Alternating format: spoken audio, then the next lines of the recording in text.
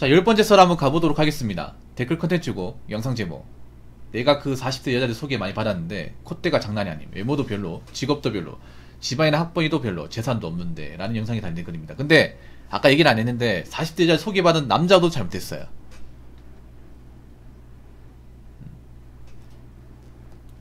음. 잘못했어요. 정말 잘못했습니다. 님 같은 분들이 있기 때문에 40대 여자들이 아직도 먹히는 생각하고 나오는 겁니다. 나가면 안 된다니까. 여러분, 이건 나, 이런 거 나가는 남자도 잘못했어. 왜 나가는 겁니까? 왜요? 저 중에 괜찮은 사람 있을까봐? 나도 외로워서. 어느 정도 다스릴 줄 알아야지.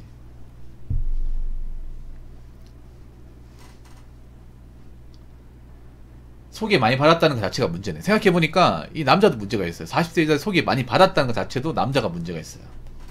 왜 받습니까? 자꾸 받으니까 저 여자분들이 어? 나 같은 사람 만나주네? 어? 나 아직 여자네? 28 청춘이네? 나 아직 리리 시절 안 변했네? 어? 나 아직 외모가 먹히네? 이렇게 생각하는 거 아니겠습니까? 이건 남자들도 문제가 있어요 여러분 남자들도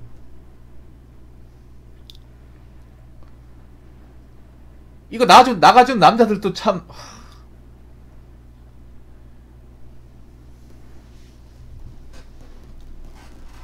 그러니까 이건 남자도 문제가 아니 이런 경험을 자꾸 쌓아주니까 이런 이제 사례를 만들어주니까 여자들도 남자들 물소가 많다 나 좋다고 만나는 남자가 많다 이렇게 생각하는 거예요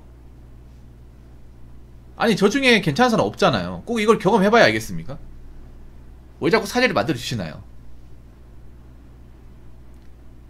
사실 여자분들 죄송하지만 정말 결혼하려고 나오는 거 맞아요? 저 나이 때? 아니면 그냥 자기가 갑질하고 싶어서 나오는 겁니까? 정말 묻고 싶어. 정말 결혼을 하려고 나왔으면 간절해야 되는 거 아닌가? 그리고 자신의 장점도 어필해야 되는 거 아닙니까? 사실 남자 입장에서 40대 여자가 장점이 없어요. 외모도 별로고 출산율 떨어지고 일도 사실 언제까지 일할지 모르고 장점보다 단점이 많아요. 남자 입장에서. 그러면 20대 여자한테 없는 걸 뭔가 어필해야 되는 거 아니에요? 그렇지 않습니까?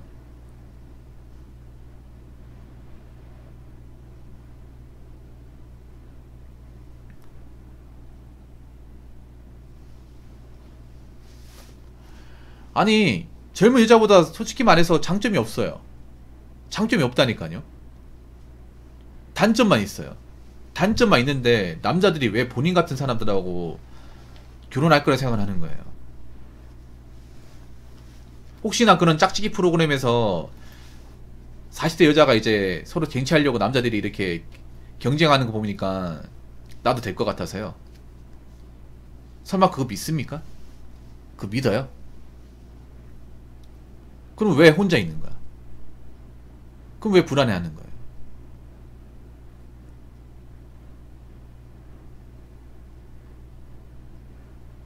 그러면 좀 달라져야 되지 않을까요? 결혼 상태. 내가 객관적으로 사실 지금 젊은 이제 20대 30보다는 장점이 없어요.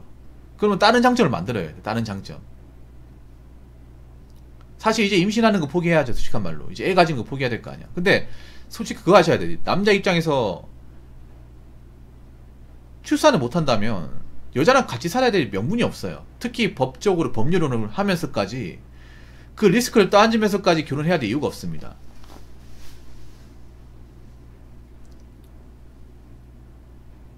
동거도 부담스러워요, 사실.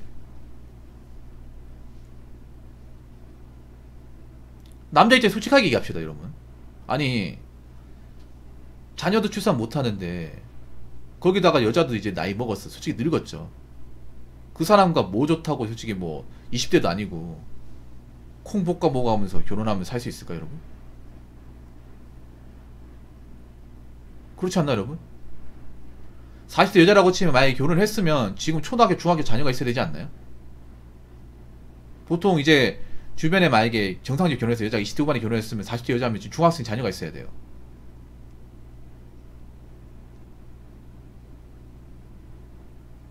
더 일찍 했으면 고등학생 자녀가 있어야 된다.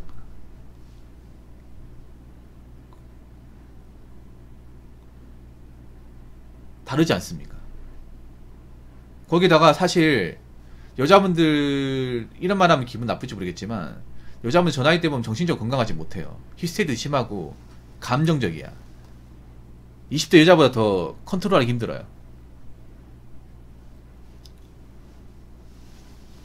그래서 남자들이 부담스러워요. 점점 더 부담스러워 할 겁니다. 그러면 좀 전략을 바꿔야 돼요. 그러니까 20대, 30대 여자가 못 해주는 걸 해줘야 되는데 그걸 못 하잖아요. 그러니까 결혼이 안 되는 거예요. 그래서 자꾸 이런 식으로 나오면 백전백패입니다. 안 됩니다. 앞, 앞으로 시간이 지나면 아예 뭐 만남 자체도 안 됩니다. 그래서 이런 좀 갑질 같은 행동을 좀 멈추셔야 돼요. 이건 정말 생각해서 하는 말입니다. 자, 댓글 한번 읽어보도록 하겠습니다. 여자분들, 아무리 늦어도 서른들 이전에는 결혼하세요. 나이 들어보니 알겠는 게 여자에게 있어서 가장 중요한 게 취사 능력입니다. 마흔 넘은 연예인급 여자가 있다고 칩시다. 이런 분은 30대들도 여전히 많이 대시한 테니 눈이 많이 높겠죠. 그렇지만 결혼까지 이어질까요? 그리고 본인이 꿈꾸는 잘난 남자들은 어떨까요? 아예 거들떠 보지도 않습니다. 외모라는 건 타고나겠다나 그리고 꿈이겠다나 남들보다 오래 갈 수 있습니다. 하지만 생물학적인 나이는 그 무엇보다, 무엇으로도 늦출 수가 없습니다. 라고 적어졌습니다. 이분이 맞는 말도 하셨는데 좀 이해가 안 되는 말도 같이 했어요. 예, 여자분들 저 나이 때 이전에 결혼해야 돼. 여자 건강을 위해서라도 해야 됩니다. 내 미래를 생각해서라도. 예, 가장 중요한 건 사실 이게 외모보다 더 중요해. 아름다움부터 중요해요. 여자의 진짜 아름다움이 이거야. 어떻게 보면. 이거라니까요. 근데 자꾸 이상한 데 홀려가지고 이 아름다운 시기 놓쳐버려요. 이제 여자들한테 교육도 다르게 해야 돼. 진짜 아름다움은 이겁니다. 이거예요, 이거. 이거는 시기가 정해져 있어요. 생물학적으로 시기가 정해져 있어. 그 시기를 지나버리면 아무리 돈을 써도 가질 수가 없어요.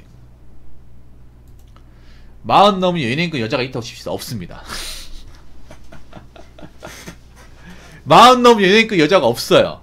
연예인들도 마흔 넘은 연예인급 여자가 안 되거 안 됩니다. 안 돼요. 우리 20대 때 정말 예쁘고 아름다웠던 사람들도 연예인급이 안 됩니다. 아줌마가 대더이다. 있다고 치는 게 아니라 없다고 쳐야 됩니다. 죄송하지만. 예, 너무 사례가 너무 좀 먼 데까지 오셨네요. 예, 너무 그 에베레스트 정상까지 오셨네. 어. 일단 마흔 넘은 연예인급 여자가 없어요. 없어요. 20대 때 막 정말 예뻤던 분들 보통 30대까지 유지했다가 나, 한 마흔 언저리까지 가서 훅 갑니다. 이걸 하다 못해 외모가 예뻤던 미스코리아 출신인가 미인대 출신 분들도 마찬가지예요, 여러분. 물론 일반적인 보통 여자보다는 그래도 미, 뭐 피지컬이나 미가 좋겠지만 그분들도 노화나 어떤 그런 나이듦을 막을 수가 없어요. 그럼 일반 여자들은 안 봐도 비교 아니야? 이런 분들은 30대도 연애 대시한다. 아니에요. 대시 안 합니다. 안 해요. 네, 없어요. 없습니다. 그, 네, 30대부터 바보가 아니에요. 네. 일단 마흔 넘 연예인 그 여자가 없고요. 30대 여자 대시 안 합니다. 안 해요. 안 합니다. 그럼 여러분 한번 봅시다. 그럼 실제 사례에서 여자가 정말 미인인데 나이 많은데 연하남하고 사귀는 케이스가 있을까? 솔직히 연예인들도 몇 명 없어요. 없어. 연예인이 없으면 일반적인 사례에서는 거의 없다는 거야. 없어요. 없습니다. 보통 여자가 여자가 만약에 연하남과 결혼을 하려면 돈이 무지하게 많아야 돼요. 여자가 남자 그러니까 남자가 백수가 돼도 먹여 살릴 수 있을 정도로 능력이 돼야 됩니다. 어, 아 남자 너 일 안 해도 돼 내가 먹여 살릴게. 어, 차피 나 뭐 애도 못 가지는데 내가 일하면 되니까 내가 버는 돈으로 너 돈 안 벌어도 돼. 그냥 난 넌 내 앞에 옆에 있어주면 돼. 이렇게 할 수 있는 사람.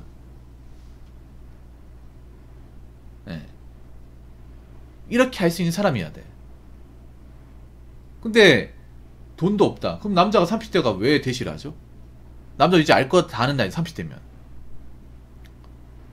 여자가 그냥 뭐 관리가 잘 된 거지 능력이 있는 게 아니잖아. 그럼 내가 먹여 살려야 되잖아요. 나이만 여자 먹여 살려야 되는데 애도 못 나.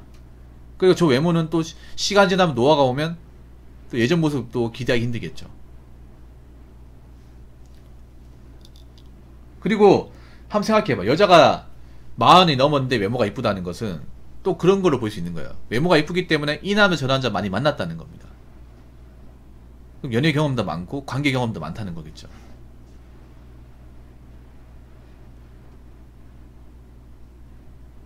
그럼 설령 나이 어린 남자를 만난다 하더라도 그 전에 내가 20대 때 만났던 그 높은 수준의 남자를 또 잊지 못하겠죠.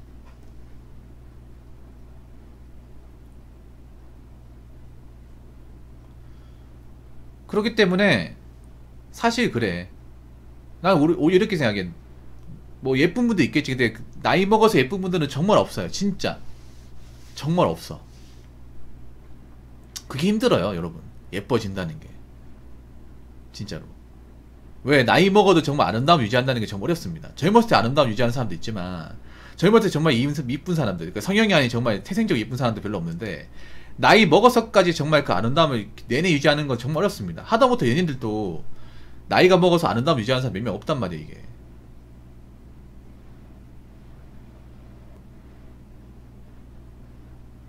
근데 젊은 돌싱을 만나도요. 그 돌싱이 연애까지만 가고 결혼까지 못 갑니다. 보통 그런 거 많이 봐요. 돌싱들이 이제 만나도 그냥 이게 적당히 만나는 거지. 근데 그 언니라고 하는 사람들은 결혼까지 가는 거 원하는데 결혼까지 가기 힘들어. 왜냐하면 한 번 남자들은 이제 남자도 한 번 결혼에 한번 되어본 적이 있잖아. 그러면 여자를 못 믿어요. 왜냐하면 결혼이나 리스크를 한번 겪으면 남자들이 굉장히 쫌생이가 됩니다. 그래서 그냥 말로만 그냥 어 뭐 언젠가 하자 이렇게 얘기하고 안 옮겨요 이게.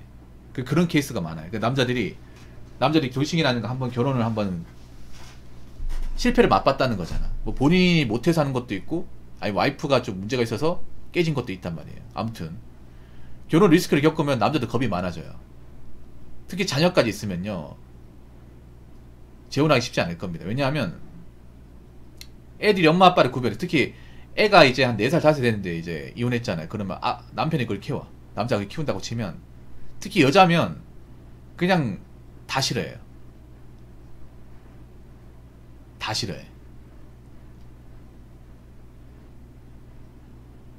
특히 딸이면 딸을 특히 남자가 키우고 있다. 어, 그 사람 만나고 있다. 아무리 엄마가 잘해줘도 그냥 마녀로 봅니다. 마녀로 봐.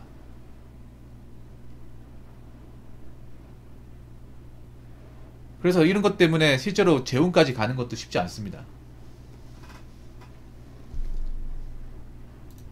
외모라는 건 타고나기에 따라 그리고 꾸미기에 따라 남들보다 오래 갈 수 있습니다. 음, 근데 이 외모만으로도 있잖아요. 뭐 오래 갈 수 있는데 오래 갈 수 있지 영원하지 않는 거야. 영원하지 않아 이게. 꾸미는 것도 이제 한계가 있는 나이가 이제 마흔이에요. 그러니까 뭐 화장이나 뭐 패션 같은 걸로 꾸미는 것으로 커버하는 게 좀 한계에 부딪히는 것도 저 나이에요. 오히려 나이 많은 사람이 젊은 사람을 꾸미면 더 이상해. 더 이상해 보여요. 어, 젊어 보이겠다고 요즘 젊은 사람들 트렌드 같은 거 따라하잖아요. 더 이상해 보여. 자, 그 나이에 맞게 그 나이에 맞는 이제 뭐 패션이나 좀 의상을 하면 되는데 여자분 중에 그런 게 있어요. 뭐냐면 자기가 이제 어떻게든 좀 동안처럼 보이고 싶어서 나이가 많은데 젊은 사람들 컨셉을 다 따라하는 거야. 그러면 더 이상하거든, 더. 더 이상해요. 화장 같은 거 젊은 사람들 스탠드로 가고. 예.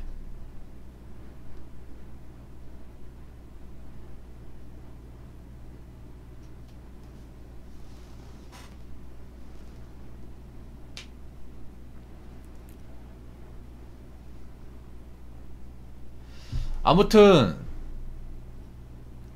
여자분들한테 얘기하고 싶은 건 그 좋은 시기라는 거는 여자한테 좋은 시기는 정말 한금 같은 기회입니다. 그 젊음이라는 거.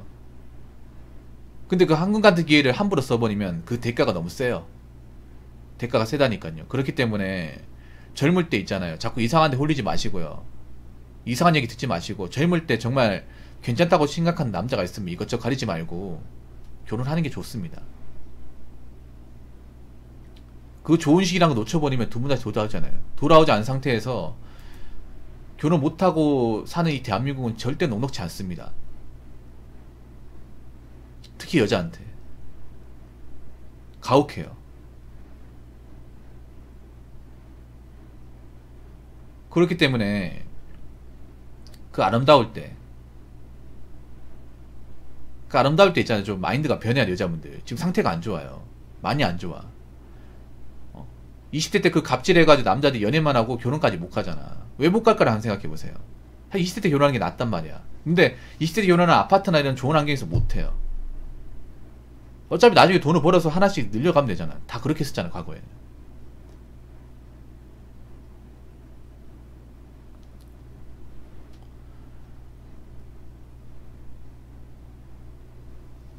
아무튼 여자의 젊음은 돈하고 바꿀 수 없는 겁니다. 그 젊은 기회를 잘 살리시기 바랄게요.